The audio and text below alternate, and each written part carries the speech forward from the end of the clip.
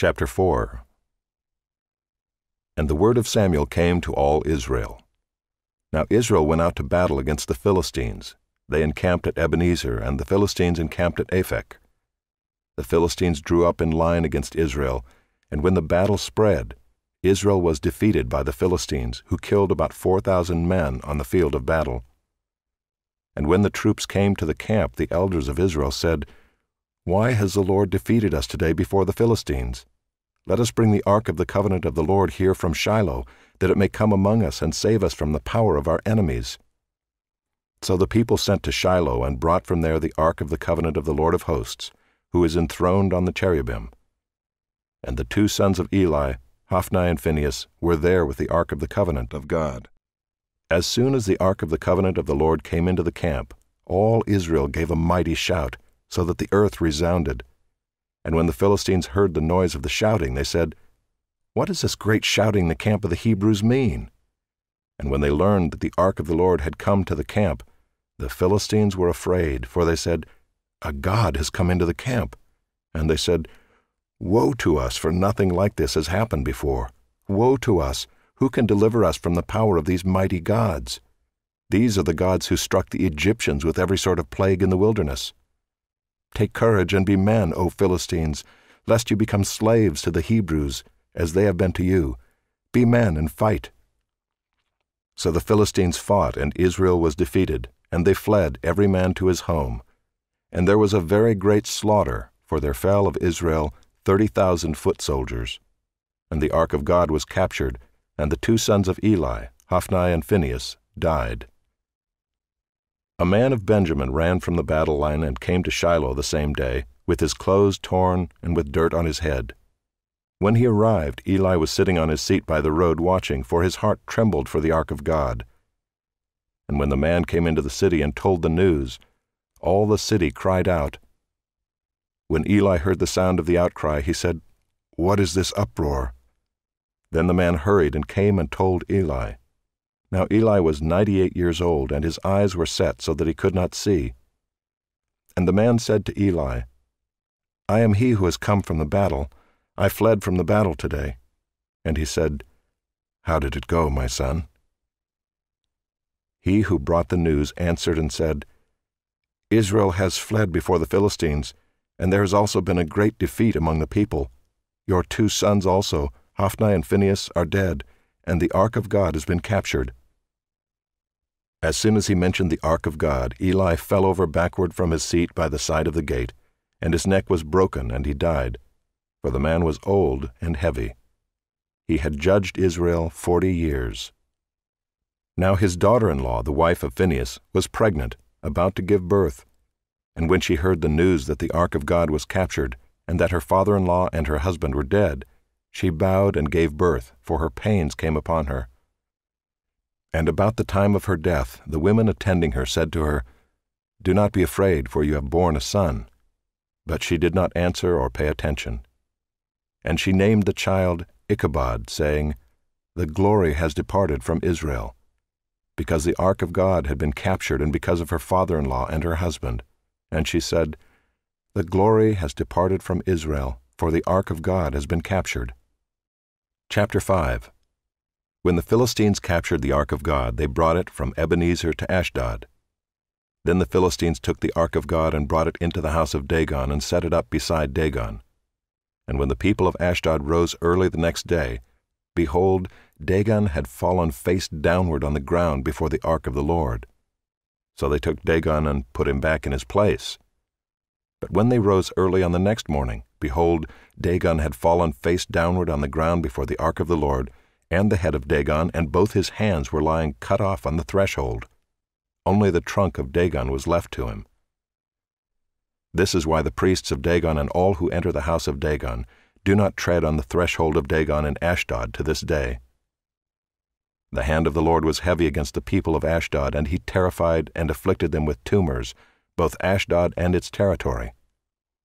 And when the men of Ashdod saw how things were, they said, The ark of the God of Israel must not remain with us, for his hand is hard against us, and against Dagon our God. So they sent and gathered together all the lords of the Philistines, and said, What shall we do with the ark of the God of Israel? They answered, Let the ark of the God of Israel be brought around to Gath. So they brought the ark of the God of Israel there. But after they had brought it around, the hand of the Lord was against the city, causing a very great panic. And he afflicted the men of the city, both young and old, so that tumors broke out on them. So they sent the ark of God to Ekron. But as soon as the ark of God came to Ekron, the people of Ekron cried out, They have brought around to us the ark of the God of Israel to kill us and our people.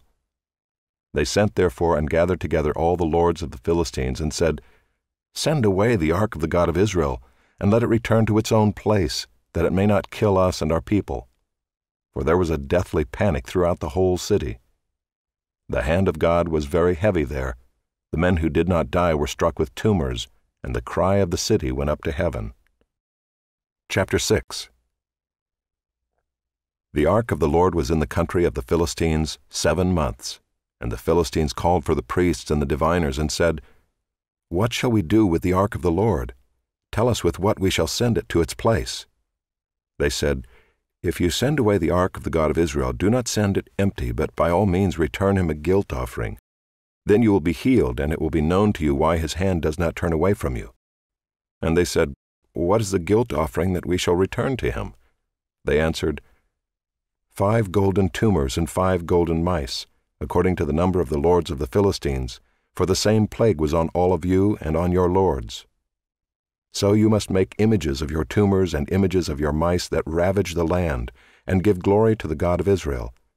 Perhaps he will lighten his hand from off of you and your gods and your land. Why should you harden your hearts as the Egyptians and Pharaoh hardened their hearts? After he had dealt severely with them, did they not send the people away and they departed? Now then, take and prepare a new cart and two milk cows on which there has never come a yoke, and yoke the cows to the cart but take their calves home away from them. And take the ark of the Lord and place it on the cart, and put in a box at its side the figures of gold, which you are returning to him as a guilt offering. Then send it off, and let it go its way, and watch. If it goes up on the way to its own land, to Bethshemesh, then it is he who has done us this great harm. But if not, then we shall know that it is not his hand that struck us. It happened to us by coincidence. The men did so and took two milk cows and yoked them to the cart and shut up their calves at home. And they put the ark of the Lord on the cart and the box with the golden mice and the images of their tumors. And the cows went straight in the direction of Bethshemesh along one highway, lowing as they went. They turned neither to the right nor to the left, and the lords of the Philistines went after them as far as the border of Bethshemesh. Now the people of Bethshemesh were reaping their wheat harvest in the valley, and when they lifted up their eyes and saw the ark, they rejoiced to see it. The cart came into the field of Joshua of Bethshemesh and stopped there. A great stone was there. And they split up the wood of the cart and offered the cows as a burnt offering to the Lord. And the Levites took down the ark of the Lord and the box that was beside it, in which were the golden figures, and set them upon the great stone. And the men of Bethshemesh offered burnt offerings and sacrificed sacrifices on that day to the Lord. And when the five lords of the Philistines saw it, they returned that day to Ekron. These are the golden tumors that the Philistines returned as a guilt offering to the Lord one for Ashdod, one for Gaza, one for Ashkelon, one for Gath, one for Ekron, and the golden mice according to the number of all the cities of the Philistines belonging to the five lords, both fortified cities and unwalled villages. The great stone beside which they set down the ark of the Lord is a witness to this day in the field of Joshua of Bethshemesh. And he struck some of the men of Bethshemesh because they looked upon the ark of the Lord. He struck seventy men of them, and the people mourned because the Lord had struck the people with a great blow. Then the men of Bethshemesh said, Who is able to stand before the Lord, this holy God? And to whom shall he go up away from us? So they sent messengers to the inhabitants of Kiriath-jearim, saying, The Philistines have returned the ark of the Lord. Come down and take it up to you. Chapter 7 And the men of Kiriath-jearim came and took up the ark of the Lord and brought it to the house of Abinadab on the hill. And they consecrated his son Eleazar to have charge of the ark of the Lord. From the day that the ark was lodged at Kiriath-jearim, a long time passed, some twenty years and all the house of Israel lamented after the Lord.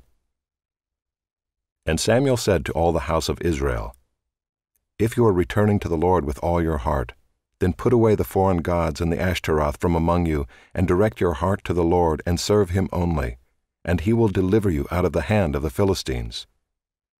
So the people of Israel put away the Baals and the Ashtaroth, and they served the Lord only. Then Samuel said, Gather all Israel at Mizpah, and I will pray to the Lord for you. So they gathered at Mizpah and drew water and poured it out before the Lord and fasted on that day and said there, We have sinned against the Lord. And Samuel judged the people of Israel at Mizpah. Now when the Philistines heard that the people of Israel had gathered at Mizpah, the lords of the Philistines went up against Israel. And when the people of Israel heard of it, they were afraid of the Philistines.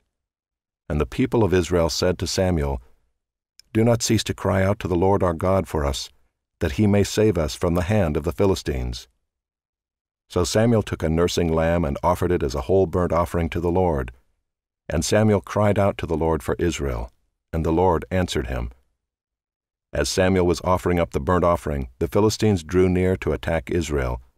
But the Lord thundered with a mighty sound that day against the Philistines, and threw them into confusion, and they were routed before Israel. And the men of Israel went out from Mizpah and pursued the Philistines and struck them as far as below Bethkar. Then Samuel took a stone and set it up between Mizpah and Shen, and called its name Ebenezer, for he said, Till now the Lord has helped us. So the Philistines were subdued and did not again enter the territory of Israel. And the hand of the Lord was against the Philistines all the days of Samuel. The cities that the Philistines had taken from Israel were restored to Israel, from Ekron to Gath, and Israel delivered their territory from the hand of the Philistines. There was peace also between Israel and the Amorites. Samuel judged Israel all the days of his life, and he went on a circuit year by year to Bethel, Gilgal, and Mizpah, and he judged Israel in all these places. Then he would return to Ramah, for his home was there, and there also he judged Israel, and he built there an altar to the Lord. Chapter 8 When Samuel became old, he made his sons judges over Israel. The name of his firstborn son was Joel, and the name of his second, Abijah. They were judges in Beersheba. Yet his sons did not walk in his ways, but turned aside after gain. They took bribes and perverted justice. Then all the elders of Israel gathered together and came to Samuel at Ramah and said to him, Behold, you are old, and your sons do not walk in your ways. Now appoint for us a king to judge us like all the nations. But the thing displeased Samuel when they said, Give us a king to judge us. And Samuel prayed to the Lord, and the Lord said to Samuel, Obey the voice of the people in all that they say to you, for they have not rejected you, but they have rejected me from being king over them. According to all the deeds that they have done from the day I brought them up out of Egypt even to this day, forsaking me and serving other gods, so they are also doing to you. Now then, obey their voice. Only you shall solemnly warn them, and show them the ways of the king who shall reign over them. So Samuel told all the words of the Lord to the people who were asking for a king from him. He said, These will be the ways of the king who will reign over you.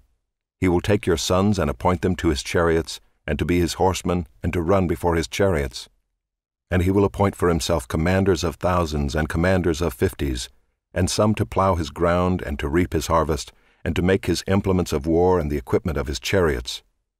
He will take your daughters to be perfumers and cooks and bakers. He will take the best of your fields and vineyards and olive orchards and give them to his servants. He will take the tenth of your grain and of your vineyards and give it to his officers and to his servants. He will take your male servants and female servants, and the best of your young men, and your donkeys, and put them to his work. He will take the tenth of your flocks, and you shall be his slaves. And in that day you will cry out because of your king, whom you have chosen for yourselves, but the Lord will not answer you in that day. But the people refused to obey the voice of Samuel, and they said, No, but there shall be a king over us, that we also may be like all the nations and that our king may judge us and go out before us and fight our battles.